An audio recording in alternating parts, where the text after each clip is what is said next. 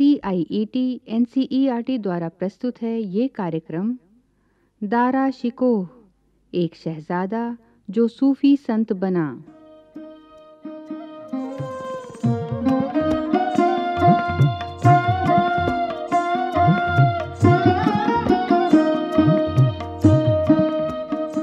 हमारी इस ऐतिहासिक कहानी का नायक है दारा शिकोह। ताजमहल की तामीर करने वाले शाहजहां के सबसे बड़े शहजादे। दारा शिकोह। मुगल सल्तनत पर आधी सदी तक राज करने वाले बादशाह औरंगज़ेब के सबसे बड़े भाई, दारा शिकोह। और अपने समय की आम सोच से कहीं आगे, एक धर्मनिरपेक्ष और सहिष्णु इंसान दारा शिको, जो आज भी प्रासंगिक है।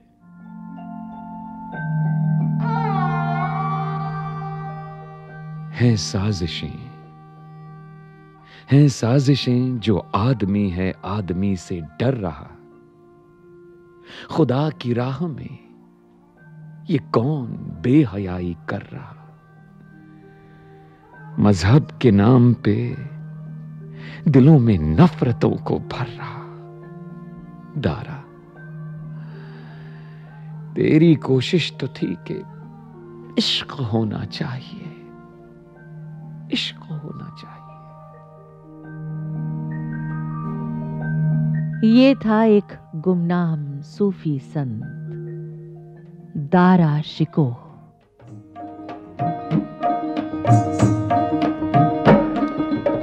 मौला मेरे मौला मेरे मौला मेरे मौला मेरे मौला मेरे मौला मेरे मौला मेरे मौला मेरे मौला मेरे मौला मेरे मौला मेरे मौला मेरे मौला मेरे मौला मेरे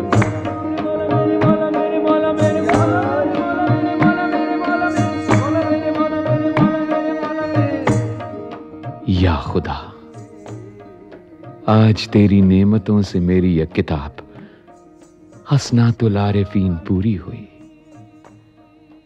मैंने अपनी इस किताब में 107 साधु संतों की वाणी और उनके प्रवचनों का संग्रह किया है। मेरे लिए रब का मतलब सिर्फ़ मुसलमानों का अल्लाह नहीं, बल्कि सबका अल्लाह है। मेरे मौला, तेरी राह पर यूँ ही चल सकूँ। मेरा हौसला बुलंद कर मेरे मौला। मेरा हौसला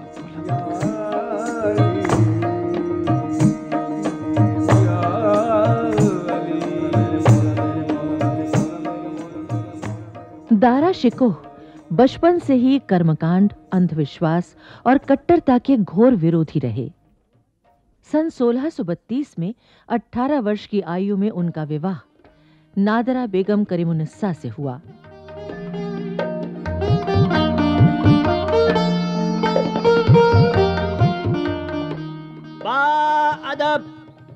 बा मुलाहिजा होशियार,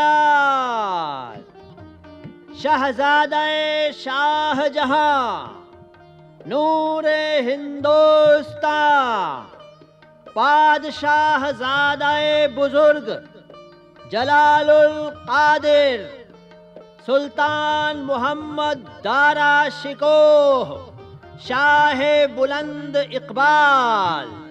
अपनी बेगम नादरा करीमुन्निसा के साथ तशरीफ़ ला रहे हैं।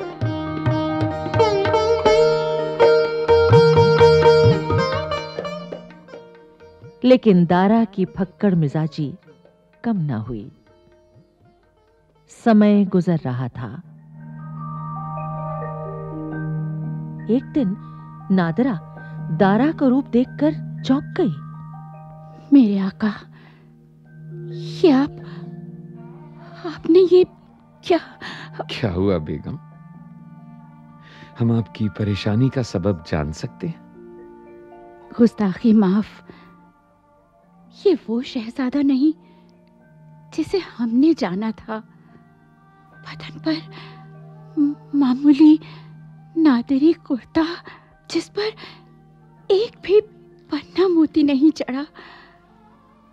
गले में मा, मामूली सी नारंगी चादर। बेगम ये देखने में मामूली कुर्ता और मामूली चादर ज़रूर है। लेकिन नादरा ये बेशकीमत है। शाहों के शाह की बरकत की तरह। क्योंकि इसे मुझे हज़रत हुजूर ने दिया है। बेगम अब हम खुद के भी कहाँ रहे? हकीकी आशिकी में यूँ दुआएँ काम आती हैं।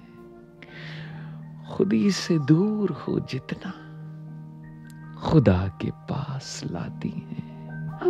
हुजूर।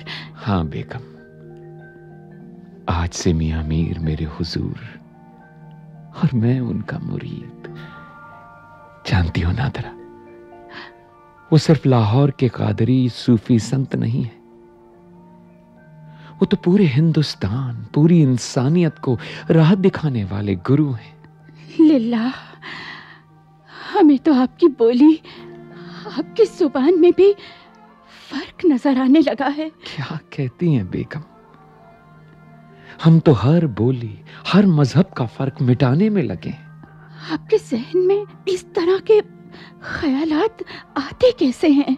इसके लिए हम शुक्रगुजार हैं मुल्ला शाह बदख्शी के जिन्होंने हमें अपने गुरु हज़रत मियाँ मीर से मिलवाया। आप कहीं फ, फकीर ना बन जाएँ। शाही से फकीरी किस मायने में कम है बेगम? आप आप समझते क्यों नहीं? आपने अगर फकीरी चुन ली तो तो खुदा खैर करे बादशाह सलामत तो। अब्बा हुजूर बरसों बरस हमारी सरपरस्ती करने को सलामत रहेंगे बेगम। लेकिन शहजादा औरंगज़ेब पता है कि बाबा फरीद क्या कहते फरीदा जे तू अकल लतीफ, काले लिखना लेख। फरीदा जे तू अकल लतीफ, काले लिखना लेख। जे तू अकल लतीफ, काले लिखना लेख। अपनड़े गिरिवान में अपनड़े गिरिवान में सिर नवा कर दे फरीदा जे तू अकल लती सन सोलह सौ सत्तावन।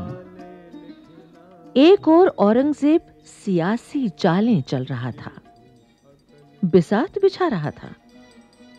तो दूसरी ओर, हर इंसान में ईश्वर को देखने वाला दारा, फारसी शायरी, इतिहास, संस्कृत भाषा और योग में रुचि दिखा रहा था।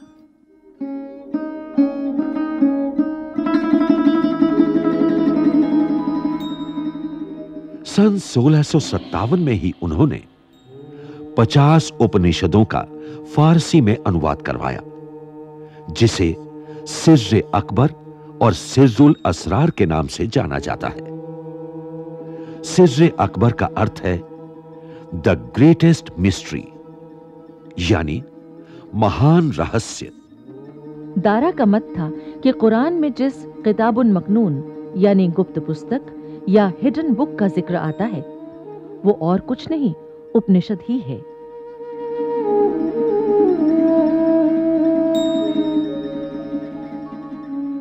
उपनिषद के अनुवाद की भूमिका में दारा स्वयं को ही संबोधित करते हुए कहते हैं,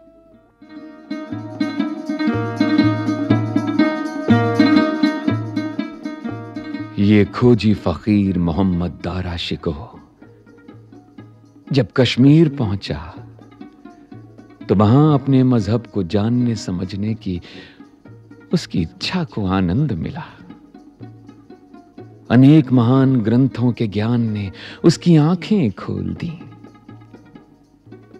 उसने पाया कि पाक कुरान हो, ईसाइयों की किताबें मोजजा हो या चारों वेद और उपनिषद, सबका ईश्वर एक है।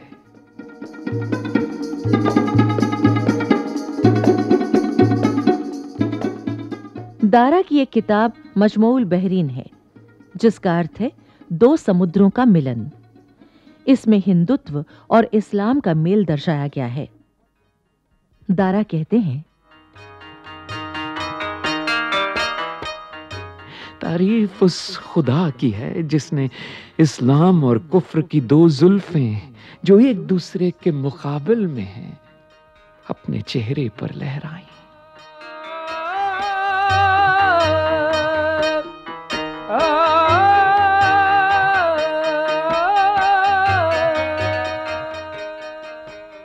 महान सूफी संत सरमद काशानी से भी दारा बहुत प्रभावित थे।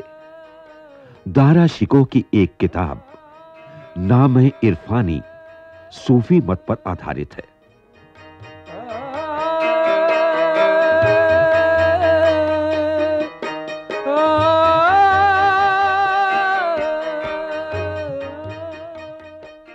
उनकी कविताओं का संकलन दीवाने दारा के नाम से जाना जाता है। ये इक्सीर आज़म और दीवाने कादरी के नाम से भी प्रसिद्ध है। दारा शिकोह की कविताओं की रवानी ही कुछ और है।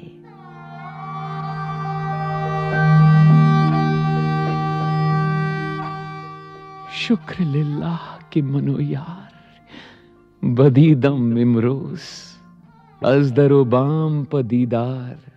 बदीदम इमरोस दीद ने रुई मयसर न शवद यकसात मन हुशश दीदमो बिसियार। बदीदम इमरोस गैरिया यार हमा रफ्त ज़ियालम बूदम जलवागर दरो गुलो खार बदीदम इमरोज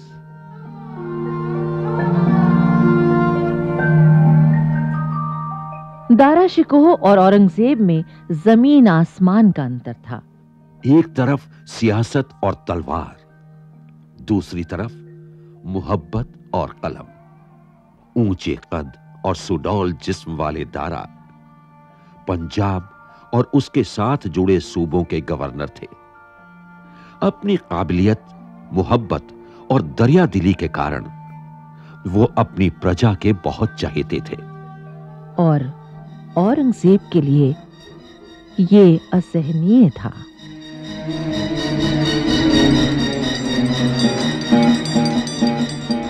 सत्ता की भूख ने अंतरकलह को जन्म दिया और औरंगज़ेब ने दारा के खिलाफ जंग छेड़ दी। एक शांति प्रिय शहजादा जंग को मजबूर हुआ।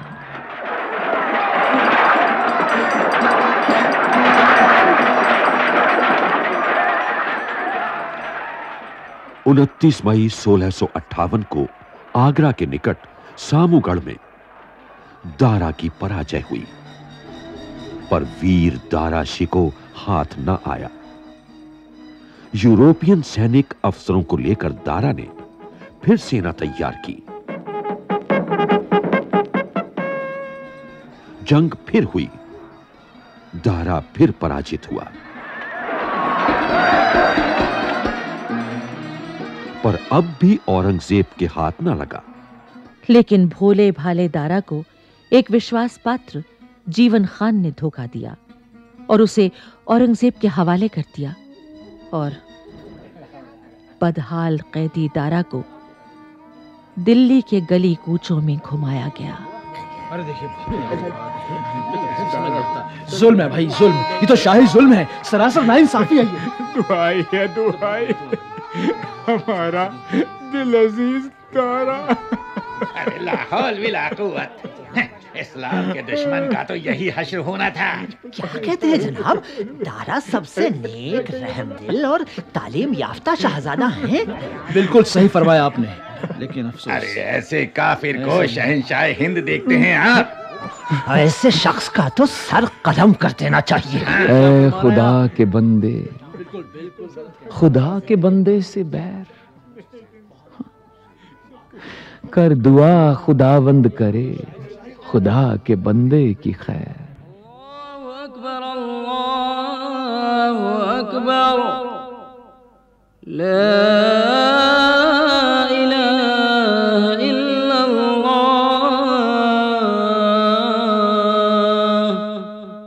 और इसके बाद शाहजहां को कैद कर 15 जून सोलह को औरंगज़ेब हिंदुस्तान के सिंहासन पर जा बैठा।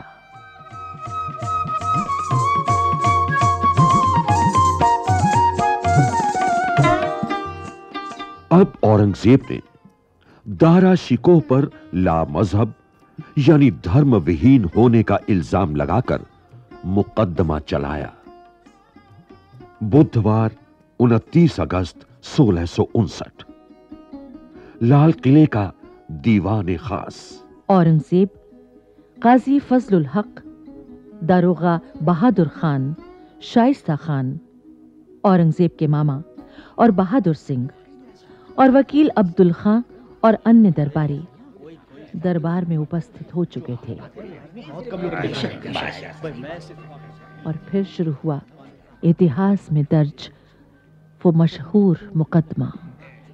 शहनशाह औरंगज़ेब ने हुक्म दिया। जनाब काजी फजलुल हक, हुक्म जहाँ मुकदमे का आगाज़ किया जाए, जो हुक्म अली जान आज इस दरबार में एक अहम बेदीनी का मुकदमा हमारे रूबरू है। शिकायत है कि मुलजिम दारा शिको मुसलमान होकर भी हिंदू जोगियों और सिख गुरुओं की संगत करता है। उसकी कारगुजारियाँ सल्तनत हिंद और मज़हब इस्लाम के खिलाफ हैं। हम्म। मुलजिम दारा आपको अपनी सफ़ाई में कुछ कहना है? आपको इजाज़त है। सफ़ाई। आज तक कोशिश तो यही की है कि कुछ दिल की सफ़ाई हो, कुछ रूह की सफ़ाई हो। मेरा क्या? मैं तो बस इतना कहना चाहता हूँ। जिस बुतो पत्थर को देखूँ, तू ही तू दिखाई दे। तेरी तलाश सामने, क्या ना तुझे दिखाई दे? ए खुदा दारा तेरा काफिर हुआ जाए। जहाँ पना मुजरिम अपने गुनाह का इकरार करता है यह बुत परस्ती नहीं तो क्या है? हुजूर अगर यह खता खुदा की शान में करता हूँ तो खुदा का गुनहगार हूँ। खुदा के बंदे का तो नहीं खुदा हमें सजा देगा। खुदा के बंदे को यह कहाँ क्यों काजी साहब? खामोश! जबान दराजी के हक से आप महरूम हैं। ये आपको समझ आना चाहिए। बोलने का हक दिया और जबान खींच ली। हम आवाज़ ये बा बुलंद कहते हैं। रब्बुल आलमीन सारी दुनिया का मालिक एक है। उसके लिए मुसलमान होने की कोई कैद नहीं। हम कुर्ते सीकर और कुरान की आयतें लिखकर अपना गुजारा करते हैं। बिरादर दारा शिको, आप हमें क्या इस्लाम के कायदे बताएँगे? भाई भी कहते हैं और गले भी नहीं लगाते। आप ही कहें, हम क्या करें? जब हम सच को सीने में महसूस करते हैं तो हमें हिंदू और मुसलमान में फ़र्क महसूस नहीं होता। हम क्या करें कि शिव की मूरत में अल्लाह ना दिखाई दे? क्या करें कि जो कुरान कहे, गीता में ना सुनाई दे? जन्नत का रास्ता हमें स्वर्ग की सीढ़ियों से जुदा क्यों नहीं लगता? रहीम की संगत में हमें राम से परहेज क्यों नहीं होता? ये और बर्दाश्त नहीं किया जा सकता। इजाज़त हो तो हम कुछ कहना चाहते हैं। हमें आपकी नाराज़गी का इल्म है वकील अब्दुल खां साहब। जो कहना है बेखौफ कहिए। जहाँ बना मुल्जिम ज़िंदगी भर हिंदू देवी देवताओं की बातें करता रहा है। उसके दाहिने हाथ की अंगूठी में संस्कृत में प्रभु लफ्ज खुदा है। बाजू के जोशन बंद के बीच संस्कृत में ब्रह्म खुदा है। ये ये, ये देखिए। ये देखिए मुल्जिम का कमरबंद। इसके पट्टे में शिव की मूर्ति खुदी है। और यही नहीं अलमास की आरसी में भी शिव की मूर्ति खुदी है। ज़ाहिर है मुल्जिम सरासर ला मज़हब हो गया है। वकील साहब। मज़हब इतना छोटा और कमज़ोर कब से हो गया कि एक तस्वीर से उजड़े और एक लफ्ज से बिगड़े? तो क्या आप इस बात से इनकार कर सकते हैं कि आप पाँचों वक्त की नमाज़ भी नहीं पढ़ते? आप जैसे बेनमाजी को क्या खुदा मिल सकता है? न मंदिर में न मस्जिद में न काबा कैलाश में। मुँह को कहाँ ढूंढे रे बंदे? मैं तो तेरे पास में। खामोशी बहाल हो। जहाँ पना देखा आपने?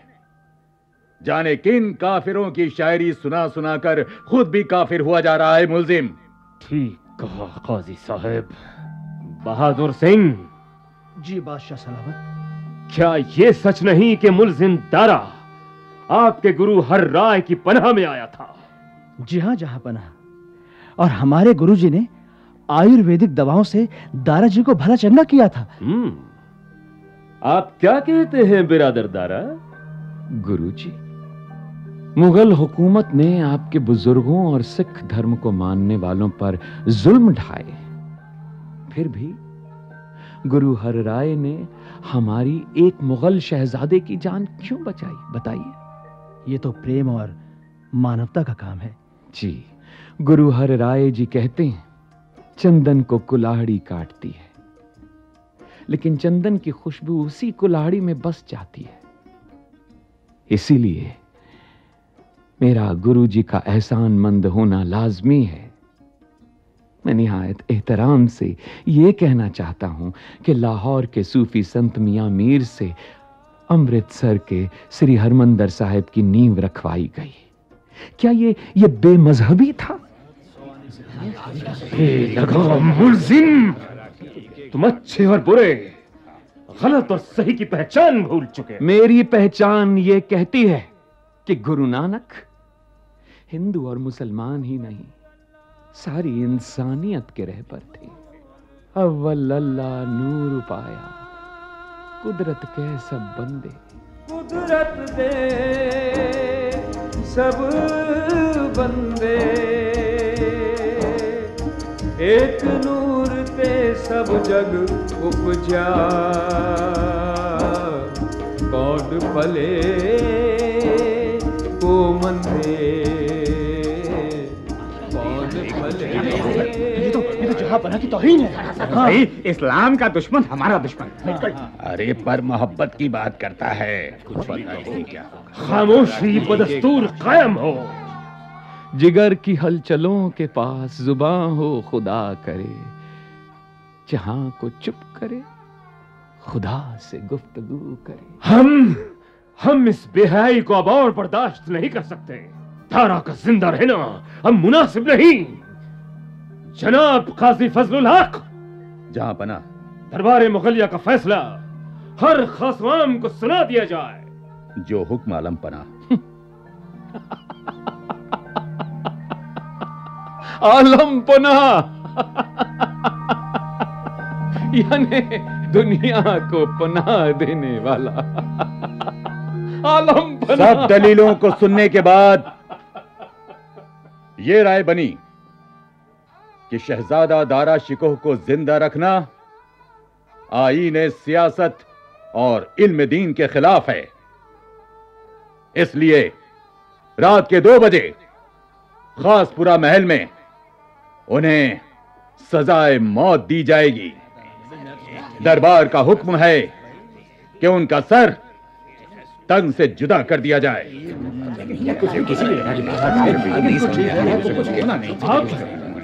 दरबार खास बर्खास्त किया जाता है। दुआ ले जाओ मुसाफिर बस दुआओं में असर है। समझना दा कयामत में मेरा खंजर तेरा सर है। और 30 अगस्त सन सोलह को दारा और दारा के बेटे सिपहर शिकोह की निर्मम हत्या के बाद दोनों को हुमायूं के मकबरे में दफन कर दिया गया। जहाँ हुमायूं और उनकी बेगम, यानी अकबर की माँ हमीदा बानो के मजार भी हैं। दारा आज बेहद खुश है कि अल्लाह की रहमत से वो स्वार्थ और अहंकार से मुक्त हुआ। आज भी दारा शिकोह, लेखकों और कलाकारों के लिए प्रेरणा स्रोत हैं। पाकिस्तान के अजोका थिएटर ग्रुप ने लाहौर में 2010 में एक नाटक का मंचन किया था। The trial of Dara Shikoh. Mahatma Gandhi के पोते और चक्रवर्ती राजगोपालाचारी के नवासे और पश्चिम बंगाल के गवर्नर रह चुके प्रसिद्ध लेखक गोपाल कृष्ण गांधी भी इस विषय से अछूते न रह सके। उन्होंने भी एक नाटक लिखा दारा शिकोह जिसने भी दारा शिकोह को जाना वो उससे आकर्षित हुए बिना न रह सका महान स्वतंत्रता सेनानी मौलाना अबुल कलाम आज़ाद भी कह उठे Dara Shikoh had a unique mind and temperament and should forever मोन the unfortunate day when his enemies triumphed Thank you. साजिशें जो आदमी है, आदमी से डर रहा। है साजिशें।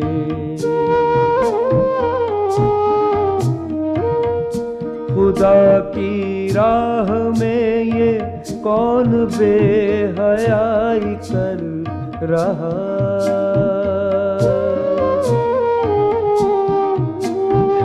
साजिशें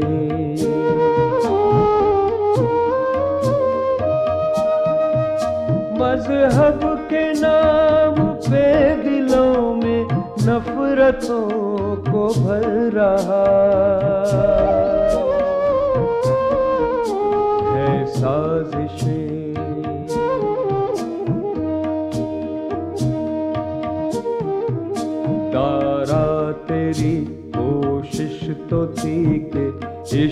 होना चाहिए। इश्क होना चाहिए।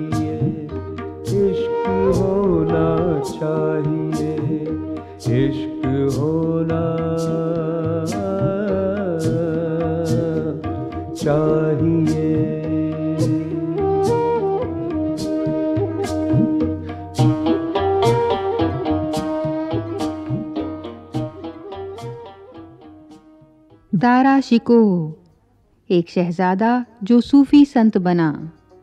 अभी आप सुन रहे थे ये कार्यक्रम। विषय संयोजन, शोध एवं शोध आलेख डॉक्टर जितेंद्र सिंह। आभार, दारा शिकोह पुस्तकालय, कश्मीरी गेट, दिल्ली और उर्दू विभाग एनसीईआरटी कलाकार, सुचित्रा गुप्ता, अश्वनी वालिया, नीरज शर्मा, बाबला कोचर, हर्ष बाला, राजेश आहूजा, प्रवीण शर्मा विद्याभूषण, मुइनुल हसन और परवेज गौहर, संगीतकार हरभजन सिंह, गायन स्वर देवाशीष, ध्वनियांकन अमिता भट्टी और बटी लैंगलिंगडो, रेडियो आलेख, ध्वनि संपादन, निर्देशन एवं निर्माण वंदना अरिमर्दन तथा प्रस्तुति C I E T N C E R T